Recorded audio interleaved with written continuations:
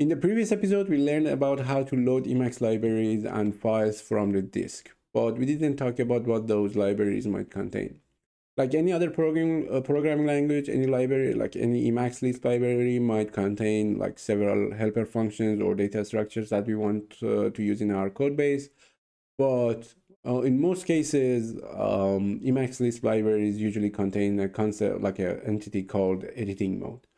Um, in today's episode, we're going to talk about the uh, editing mode as a concept and the fundamentals that we need to know about editing mode before we can uh, move any further. Uh, and in the next episode, we're going to actually try to implement a, like a minor mode as an example to learn more about the details and the implementations uh, of different uh, modes in uh, Emacs but editing modes uh, uh, like a editing mode is a concept provided by emacs that allows us to control the different aspect of our uh, editor like uh, emacs itself. There's two category of um, editing modes major modes and minor modes major mode like major modes in general uh, are uh, mutually exclusive. So that means at any given time we have just one active major mode in our emacs. And major modes are tied to buffers. So uh, whatever buffer that uh, we are visiting at the moment uh, depends on the context. There's a, like a major mode active for that buffer that controls a different aspect of that buffer and major modes are kind of specialized to handle a certain case of uh, content.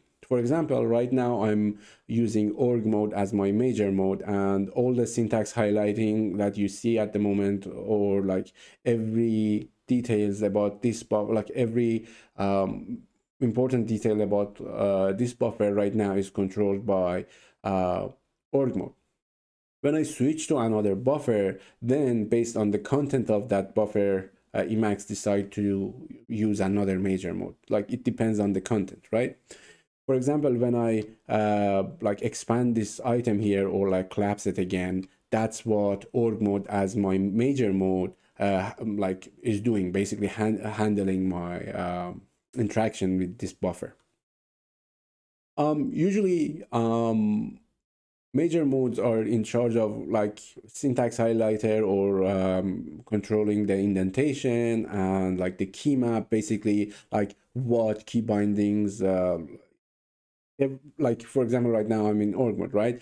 Uh, it is org mode that controls the key bindings that i'm using in the current buffer. And some other uh, functionality that are really um, depend on the content of the buffer um, major modes are called, there's a, like a naming convention for uh, major modes that is like usually there's the name of the major mode with the suffix dash mode.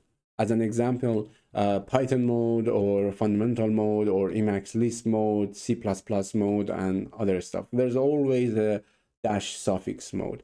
And any name that we create like this is actually a function or a interactive function. I believe that we didn't talk about interactive functions before, but basically an interactive function. Ooh, I made a typo here.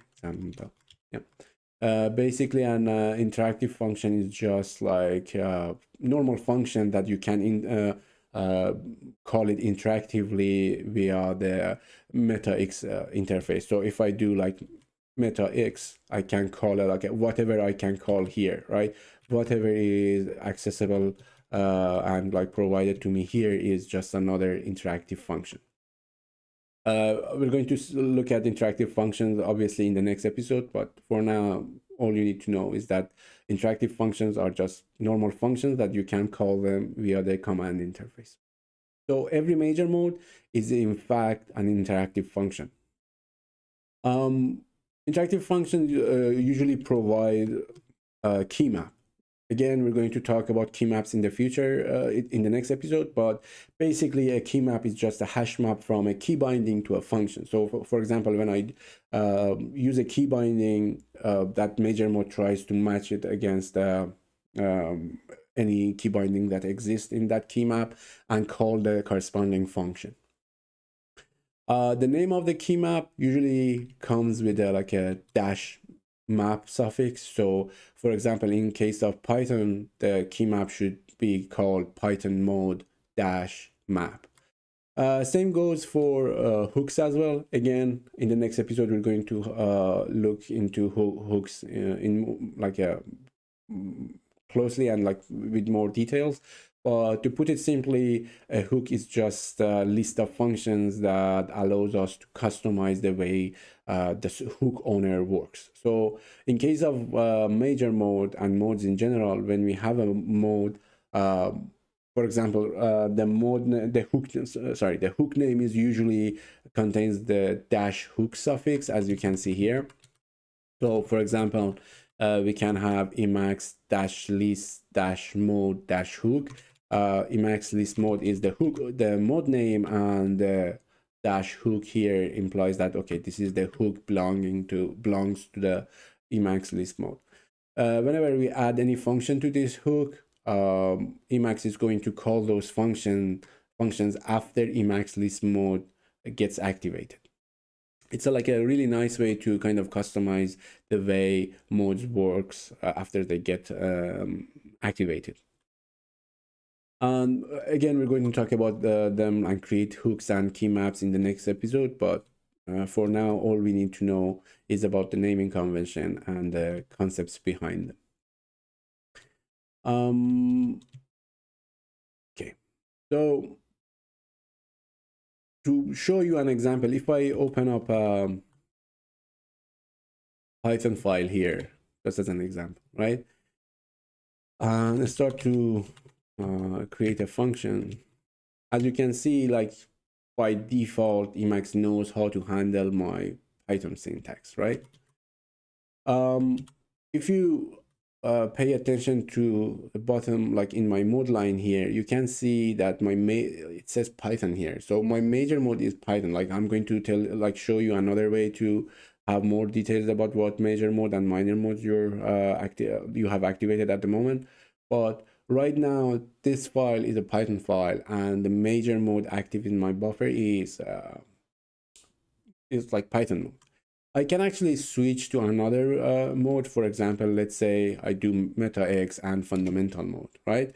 So i switch from major mode like from python mode uh, to fundamental mode as my major mode. Fundamental mode is just another uh, major mode that does nothing. It's just you know the most basic type of uh, major mode out there. And you can see that like i lost the uh, syntax highlighting abilities and everything like that. I can just switch back with like activating python mode again and you can see that okay i have uh, syntax highlighter and like the indentation will work the way i like i expected to in a python buffer. Also um, Python uh, Python mode actually provides some key bindings to evaluate the buffer, to run the buffer uh, using Python. Same goes for Emacs Lisp mode and other stuff. And when I switch back to my uh, org mode file, now the major mode is uh, org mode. It, you can see it in the um, like a, a bottom uh, in my mode line. But the point is like every buffer as i mentioned has a, like a major mode and you can switch between the uh, like between major modes uh, as you please. But how does actually emacs knows what uh, major mode to use for what buffer? There's like um i'm kind of trying to summarize the process as like into a, like a uh, one or two paragraphs, but uh, there's more de- uh, details in- involved in this process. I included a link uh, for those who are interested and want to learn more the, more about the process. But um, to make it simple and to simplify stuff and to have a, like a summary of the process, there's a um, there's a variable. There's a, like a associate list called auto dash mode dash list, as you can see here this one, uh, uh, it's a list that contains uh, a lot of pairs. And the keys in, in, in this A list are just a bunch of regular expressions and the values are uh, major modes. We already learned about uh, A list in the like previous episode. I can't remember uh, which episode it was, but basically what happens is when you open up a, a file or you visit a buffer you visit a file or a buffer emacs tries to match the buffer name against all the patterns in this uh, alist as soon as uh, as soon as emacs uh, finds a, like a match it uses the value of that match which would be a, like a major mode and calls that major mode and activate that major mode for the buffer. There's like other detail again there's like other details involved in this but um like most of the time you need, when you have a, when you want to introduce a new uh, major mode into your emacs for a new type of buffers that's where you need to make changes like you need to add more patterns in that uh, that auto mode alist again if you're interested i included a link to the emacs mode uh, to the Lisp uh, manual so you can uh, read more on your own. And finally, I showed you already how to switch between major modes, but there's like two other functions, uh, major mode dash suspend and major mode dash restore. As the name suggests, uh, major mode suspend just suspend the current major mode and switch to fundamental mode. It like record all the local variables and everything. And when you call major mode dash restore, it just restores everything to the way it was. And for more information, you can read about major modes in Emacs mode, uh, Emacs uh, manual. But major modes are uh, kind of a big deal for us as uh, people who want to use Emacs and kind of develop Emacs as well, because whatever buffer you have, you definitely have to use a major mode and you have to know how to deal with them. But as someone who want like, but it rare like you might not ever write a ma major mode right? Because like i don't know like if you want to write a, write a major mode you definitely have like a certain use cases. Uh, just because of that we might not talk about like how to create a major mode in the near future. But in the other hand minor modes are quite useful and you can use them like we're going to use them frequently. So uh, we need to know how to define a minor mode. But what is a minor mode? Uh, just like major modes minor modes are um, editing modes as well. But the difference is um, unlike major modes uh, minor modes are not mutually exclusive. So you have you can have like many minor modes active at the same time.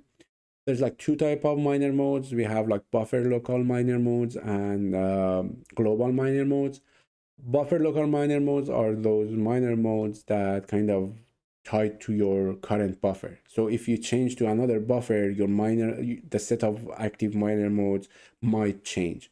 And global minor modes are active no matter uh, what buffer you're visiting.